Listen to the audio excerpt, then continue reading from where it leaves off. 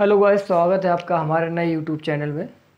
जैसा कि हम लोग पढ़ रहे थे, अभी तक हमारा पिछला टॉपिक अभी टाइप्स ऑफ़ कंप्यूटर कंप्लीट हुआ था और हमारा अगला न्यू टॉपिक मैं आपको पढ़ाने जा रहा हूँ। आप लोगों को मैं बता दूँ, एक बार फिर से याद दिला दूँ, शायद आपको याद ना हो। कि हमारा जो सीरीज़ चल रही है, वो एक टॉपिक वाइज चल रही है। सबसे पहले हम फंडामेंटल पढ़ने वाले हैं तो फंडामेंटल के सारे टॉपिक्स को कंप्लीट करेंगे। जैसे कि आप लोग नॉर्मल क्लासेस अटेंड करते हैं। क्लासेस अटेंड करने पर जो आप लोगों को टीचर्स पढ़ाते हैं, उसी तरीके से मैं आपको ऑनलाइन क्लासेस पढ़ा रहा हूँ। जिन चीज़ों में आपको प्रैक्टिकल्स की ज़रूरत पड़ेगी उसमें मैं प्रैक्टिकल भी करवाऊँगा और जिन पर आपको प्रैक्टिकल की ज़रूरत नहीं पड़ेगी, उन पर मैं आपको डायरेक्ट थ्योरी थ्योरिटिकल आपको पढ़ाऊँगा। ठीक है? तो हमारे साथ बने रहिए, हर एक वीडियो को सही से देखिए और जब आप ये वाला वीडियो देख रहे हो तो उससे पहले हमारे पिछले वीडियोस को और देखें। प्लेलिस्ट में जाइए, प्लेलिस्ट में कंप्यूटर का प्लेलिस्ट हमारा अलग बना होगा तो स्टार्टिंग से एक बार प्लेलिस्ट ज़रूर देखें। प्लेलिस्ट से आपको समझ में आ जाएगा किस तरीके से हमें कैसे कैसे क्या टॉपिक पढ़ने हैं और सबसे पहला क्या टॉपिक होता है सबसे आखिरी का क्या टॉपिक है। ठीक है? तो आज का हमारा टॉपिक का नाम है, मैं आपको टॉपिक का नाम बता देता हूँ। पिछला टॉपिक हमारा था टाइप्स ऑफ़ कंप्यूटर एंड आज का हमारा टॉपिक है जनरेशन कंप्यूटर की जनरेशन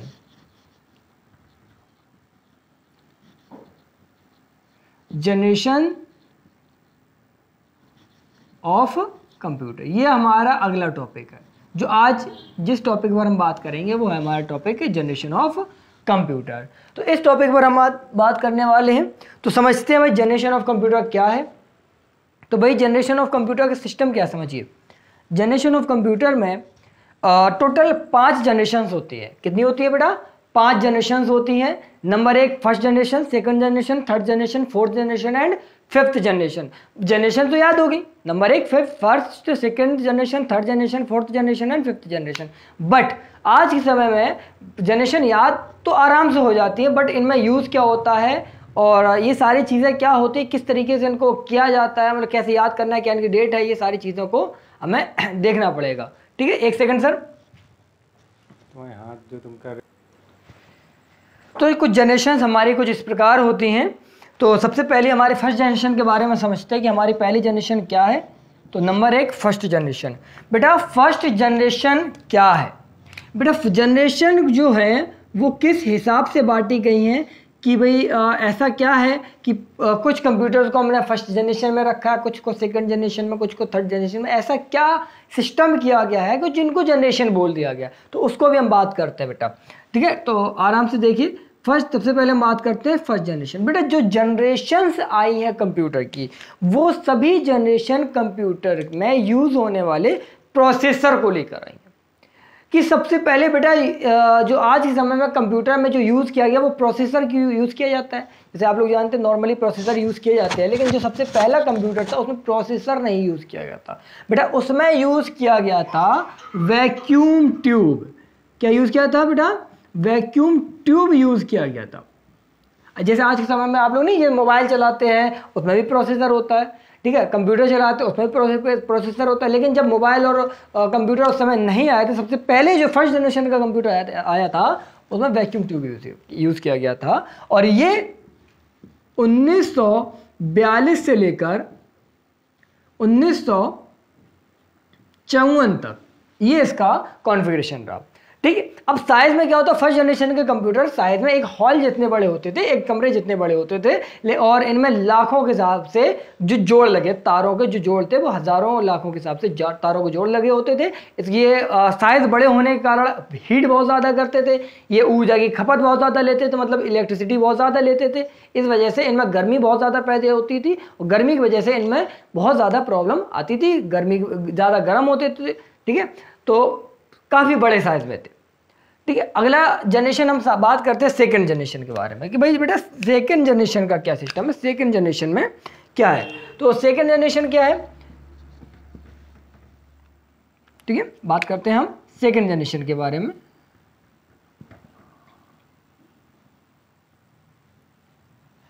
ठीक है? तो सेकंड जनरेशन में बेटा, जैसे हमने बताया आपको फ़र्स्ट सबसे पहले जो हमारा कंप्यूटर आया था फ़र्स्ट जनरेशन का कंप्यूटर उसमें वैक्यूम ट्यूब यूज़ किया गया था। और सेकंड जनरेशन में वैक्यूम ट्यूब की जगह ट्रांजिस्टर यूज़ किया था।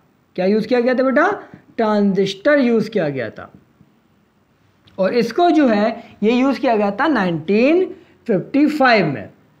एंड ये अप्रॉक्स एक एवरेज लेके चले हैं। इनका जो एवरेज है अप्रोक्स 1955 से 1964 तक ये रहा था। अब बात क्या हुई? फ़र्स्ट जनरेशन के कंप्यूटर से इसकी वैक्यूम ट्यूब यूज़ की जगह ट्रांजिस्टर यूज़ किया गया था।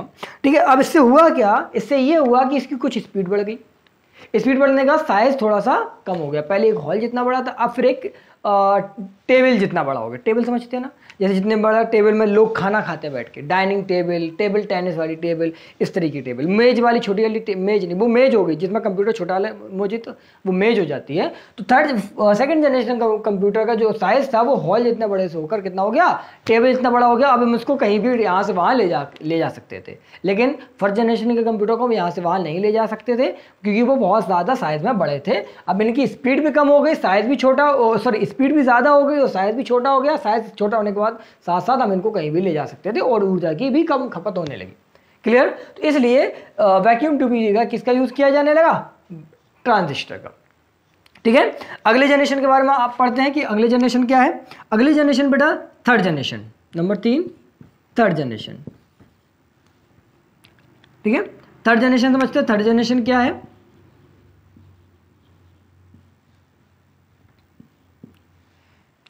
बेटा थर्ड जनरेशन क्या है? थर्ड जनरेशन के जो कंप्यूटर आए थे, उसमें सिस्टम कुछ इस तरीके का था कि थर्ड जनरेशन में जब ट्रांजिस्टर था ट्रांजिस्टर सेकंड जनरेशन से ना हटाकर सॉरी ट्रांजिस्टर को सेकंड जनरेशन से हटाकर थर्ड जनरेशन में इसकी जगह पर आईसी का यूज़ किया गया। आईसी मतलब इंटीग्रेटेड सर्किट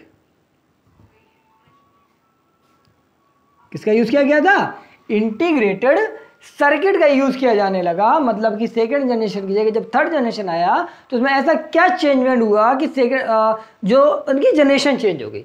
ये चेंजमेंट ये था कि ट्रांजिस्टर को हटा दिया गया और उसकी जगह इंटीग्रेटेड सर्किट को लगा दिया गया।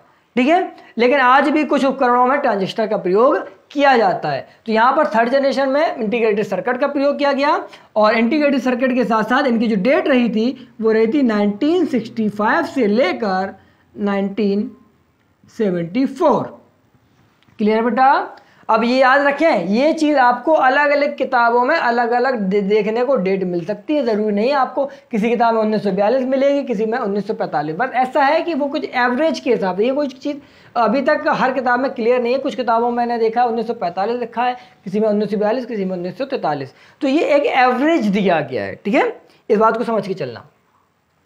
इसीलिए आज तक किसी भी आ, कुछ, किसी भी एग्ज़ाम में ये कभी क्वेश्चन नहीं आया है कि फ़र्स्ट जनरेशन की डेट बताइए, कब से कब तक? ये कभी क्वेश्चन नहीं पूछा गया। क्यों? क्योंकि एवरेज है, कोई भी क्लियर डेट नहीं दी गई है। तो अब बात करते हैं हम फोर्थ जनरेशन के बारे में। अब फोर्थ जनरेशन में क्या बेटा? फोर्थ जनरेशन में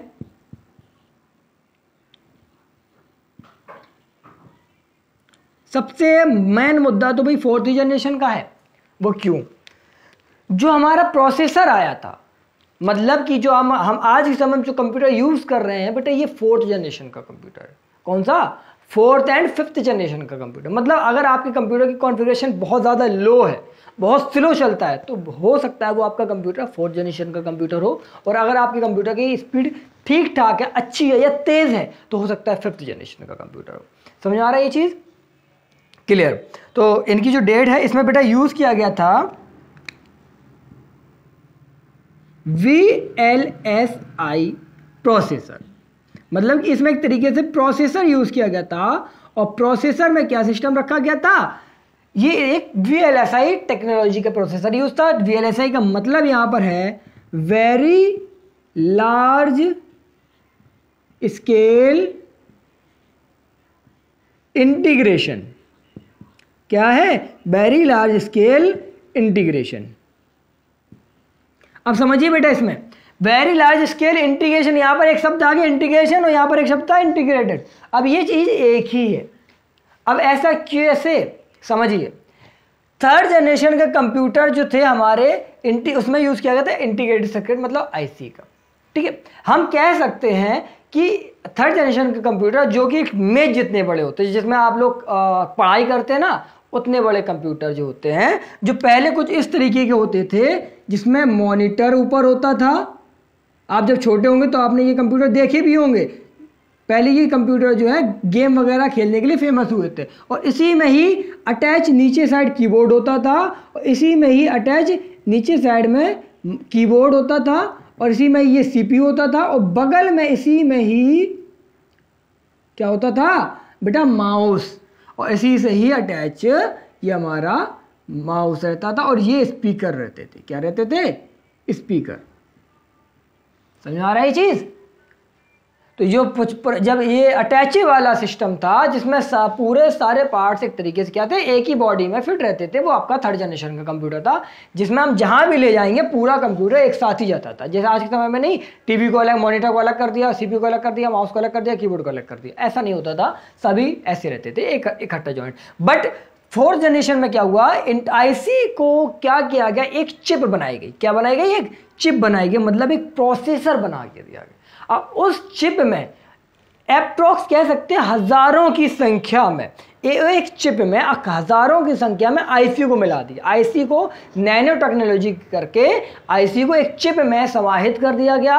अब एक चिप में सपोज़ कीजिए अगर इसके अंदर एक चिप की ताकत है तो अगर इसमें ये एक प्रोसेसर हज़ार आईसी से मिलकर बना है, इसमें एक आईसी की ताकत है। लेकिन अगर सोचिए, एक वीएलएसआई वाला प्रोसेसर जो है, ये हज़ार वेरी लार्ज स्केल मतलब बहुत अधिक मात्रा में इंटीग्रेशन मतलब आईसी को मिलाकर एक प्रोसेसर बनाया गया था, जो इससे क्या हुआ? अगर इसमें हज़ार आईसी मिलाकर तो थर्ड जनरेशन से हज़ार गुनी ताकत किसमें आ गई? फोर्थ जनरेशन में आ गई। समझ आ रहा है बेटा? तो फोर्थ जनरेशन में क्या है? थर्ड जनरेशन से थर्ड जनरेशन में जो आईसी थी, इसमें इसी आईसी को नैनो टेक्नोलॉजी के द्वारा एक प्रोसेसर में समाहित कर दिया गया, जिससे कि इसकी क्षमता बढ़ गई और कंप्यूटर का साइज़ भी बहुत छोटा हो गया। क्लियर क्लियर अब बात करते हैं बेटा, इसकी डेट की। तो बेटा ये अभी भी चल रहा है। ऐसा नहीं कि फोर्थ जनरेशन का कंप्यूटर निकल गया बेटा। ये आपका 1975 से लेके टिल डेट ये अभी भी चल रहा है। समझ आए जी? मतलब आजकल आपको फोर्थ जनरेशन का कंप्यूटर देखने को मिल जाते हैं, जैसे कि मैंने बताया, अगर आपके पास किसी का कंप्यूटर पहले का पड़ा हुआ है, अगर उसकी स्लो है थोड़ी स्पीड तो हो सकता है वो फोर्थ जनरेशन का कंप्यूटर हो। क्लियर अगली बात करते हैं हम फिफ्थ जनरेशन की। बेटा हम समझ के चलेंगे, अब हम इसको याद करने की ट्रिक भी बताएँगे, किस तरीके से हम इनकी याद करते हैं और किस तरीके से हम इनको भी याद करेंगे। ठीक है? किस तरीके से हम इनको, इनकी डेट याद करेंगे और किस तरीके से इनके प्रोसेसर याद करेंगे, ये भी हम इसको भी हम ट्रिक बताएँगे। तो हम बात करते हैं पहले फिफ्थ जन फिफ्थ जन फिफ्थ जनरेशन के बारे में। फिफ्थ जनरेशन के बारे में क्लियर तो फिफ्थ जनरेशन का सिस्टम क्या बेटा? अब सिस्टम ये है कि फिफ्थ जनरेशन में मतलब जैसे कि थर्ड जनरेशन कि आईसी को अधिक मात्रा में मिला के फोर्थ जनरेशन की आईसी बना दी एक प्रोसेसर बना दिया गया था। अब इसी तरीके से कुछ और भी ज़्यादा मात्रा में आईसी को मिलाकर एक और प्रोसेसर बना गया, दिया गया, जिसको हम बोलते हैं U L S I technology के द्वारा एक प्रोसेसर बनाया गया था। इसमें भी प्रोसेस माइक्रो प्रोसेसर यूज़ हुआ है फोर्थ जनरेशन में भी और थर्ड वो फोर्थ जनरेशन में भी और फिफ्थ जनरेशन में। दोनों में क्या यूज़ हुआ है? माइक्रो प्रोसेसर समझ में आ गया? अब इसमें क्या है? यू एल एस मतलब अल्ट्रा लार्ज अल्ट्रा लार्ज समझ रहे हैं ना? बहुत से भी ज़्यादा, बहुत ह्यूज मात्रा में अल्ट्रा लार्ज स्केल इंटीग्रेशन समझ में आ गई चीज़? इंटीग्रेशन ये चीज़ का ध्यान रखें थोड़ा, ठीक है? अब इसकी डेट क्या रहेगी? डेट का मतलब क्या? अब इनका तो अभी हाल फ़िलहाल में तो ये कंप्यूटर आए हुए थे, इसका मतलब ये डेट है टिल डेट टू फ्यूचर मतलब आगे भी यही आपका चलेगा और यही चल ही रहा है। आज के समय में अगर आप कंप्यूटर खरीदने जाएँगे तो फिफ्थ जनरेशन का कंप्यूटर या फोर्थ जनरेशन का कंप्यूटर ही लेंगे, ठीक है? तो बेटा, समझ लीजिए एक बार फिर से कि फ़र्स्ट जनरेशन के कंप्यूटर की डेट होती है उन्नीस सौ बयालीस से उन्नीस सौ चौवन, और उसमें वैक्यूम ट्यूब का यूज़ किया गया था। सेकेंड जनरेशन के कंप्यूटर में ट्रांजिस्टर का यूज़ किया गया था। उसकी, और जो डेट है 1955 से उन्नीस तक। थर्ड जनरेशन में इंटीग्रेटेड सर्किट का मतलब आईसी का यूज़ किया गया था, और इसकी डेट है उन्नीस सौ पैंसठ से उन्नीस चौहत्तर। ठीक है? फोर्थ जनरेशन में क्या किया गया? आईसी का ही कई मात्रा में मिलाकर एक प्रोसेसर में समाहित कर दिया गया, जिससे एक इसका निर्माण हुआ। मतलब एक चिप में समाहित कर दिया गया। बहुत सारी आईसी को मिलाकर एक चिप में समाहित कर दिया गया। उस चिप को नाम दे दिया गया क्या? प्रोसेसर नाम दे दिया गया। और ये वी मतलब very large scale integration technology के द्वारा बनी थी। ठीक है? उसकी डेट आपको लिखी हुई है? फिफ्थ जनरेशन के कंप्यूटर में क्या हुआ? एक चिप बनाएगी मतलब इसी का अपर वर्जन मतलब इसकी स्पीड को और बढ़ाएगी और बेटा स्पीड कैसे बढ़ेगी? आईसी की मात्रा बढ़ा दी गई तो प्रोसेसर का स्पीड भी बढ़ गई। और प्रोसेसर की जब स्पीड बढ़ गई तो उसको टेक्नोलॉजी का नाम दे दिया गया ultra large scale integration clear clear बच्चा? तो बेटा, आप याद करते हैं, इसको समझने की बारी है कि भाई इसको याद कर सकते पर आपको इतना याद रखना है। वी टी आई ये शब्द। वी टी आई क्या शब्द याद रखना V T I V T I मतलब फ़र्स्ट वैक्यूम ट्यूब ट्रांजिस्टर और आईसी फ़र्स्ट जनरेशन में वैक्यूम ट्यूब सेकंड जनरेशन में ट्रांजिस्टर और थर्ड जनरेशन में आईसी का यूज़ किया गया था। और फोर्थ जनरेशन में तो आपको याद है पहले वेरी लार्ज स्केल इंटीग्रेशन और उससे फिर अल्ट्रा लार्ज क्योंकि वेरी बहुत अल्ट्रा मतलब बहुत। ठीक है? तो वेरी लार्ज स्केल इंटीग्रेशन इन दोनों में प्रोसेसर यूज़ किया गया था बस कि ये very large very large scale में था ये अल्ट्रा लार्ज स्केल में। तो आपको या, क्या याद रखना है? ट्रिक में? वी टी आई क्या याद रखना है? V T I first generation में वैक्यूम ट्यूब सेकेंड जनरेशन में ट्रांजिस्टर और थर्ड जनरेशन में आईसी क्लियर चलिए, बात करते हैं इनकी डेट कैसे याद रखेंगे। बेटा, बस आपको क्या करना जैसे मैं आपसे फ़र्स्ट जनरेशन के पूछ रहा हूँ फ़र्स्ट जनरेशन की डेट बताइए। तो फ़र्स्ट जनरेशन की डेट में आपको क्या करना ओनली थर्टीन जोड़ना है। थ्री को ऐड कर देना। तीन और एक, चार मतलब उन्नीस सौ बयालीस से लेकर उन्नीस सौ उन्नीस से लेकर उन्नीस सौ चौवन तक। क्लियर सेकेंड जनरेशन का बताइए।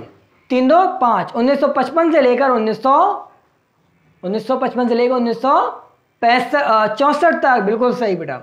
अगला, तीन थर्ड जनरेशन में बताइए। तीन में तीन ऐड कीजिए, तीन तीन छः उन्नीस सौ लेके उन्नीस सौ चौहत्तर तक।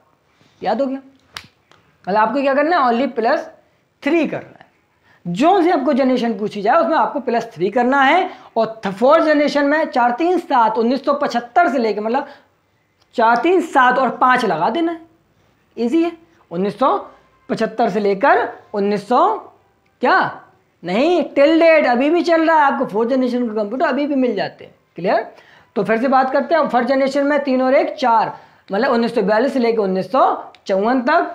तो सेकंड जनरेशन की बात करें। सेकंड में मतलब तीन ऐड कीजिए सेकंड में। तीन दो पाँच। उन्नीस सौ पचपन से लेके उन्नीस सौ चौंसठ तक।